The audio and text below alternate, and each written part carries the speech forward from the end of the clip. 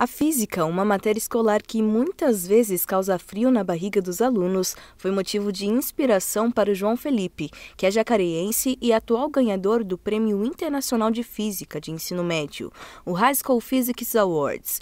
Uma experiência também meio estranha, porque eu nunca achei que ia chegar nesse ponto.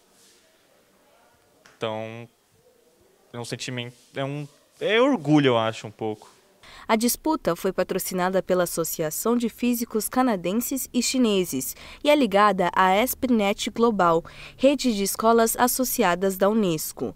Apenas quatro instituições de ensino de todo o mundo disputaram o prêmio, entre elas o Instituto Alfa Lumen de São José dos Campos, que trabalha com altas habilidades e em sua estreia no evento já levou o primeiro lugar. Né? Porque assim, como a gente trabalha com altas habilidades, é muito interessante porque você tem uma criança que às vezes é muito bom de física. Então a gente vai buscando criar projetos para atender a todos os alunos. Então por isso a amplitude de projetos.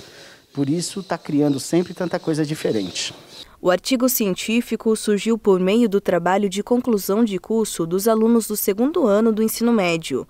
O envolvimento com a temática foi grande e resultou na inscrição no concurso. E até o primeiro capítulo eu ajudei.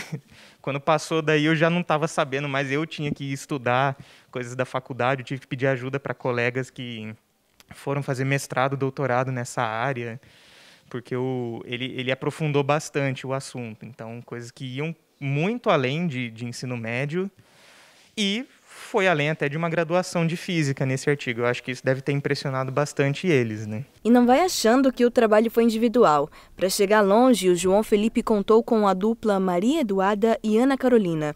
Juntos, eles formaram o trio vencedor, a QE The Physics Team. Realmente fiquei surpresa e sinto orgulho, né, da gente conseguir essa conquista. Eu acho que foi uma experiência bem legal e diferente participar desse concurso internacional de física, é, mandando o projeto em inglês tudo. E eu também fiquei surpresa, igual a Maria falou, é uma coisa muito legal e diferente, assim.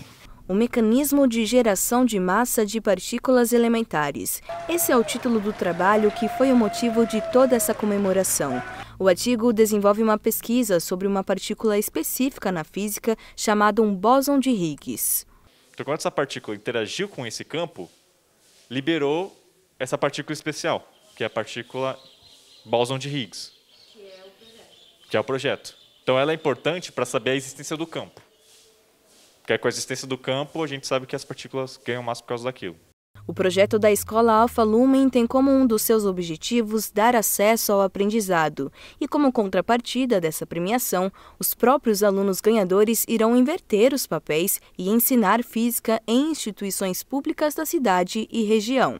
Nossa grande expectativa é trabalhar com os jovens né, da região, da comunidade, da, de toda a nossa região, dando oportunidade para eles é, se transformarem nessas grandes lideranças que nós acreditamos que eles possam ser. Estampado no rosto o amor pelos estudos, João, muito além de aprendiz, deixa claro que é artista, porque para ele a física é uma arte.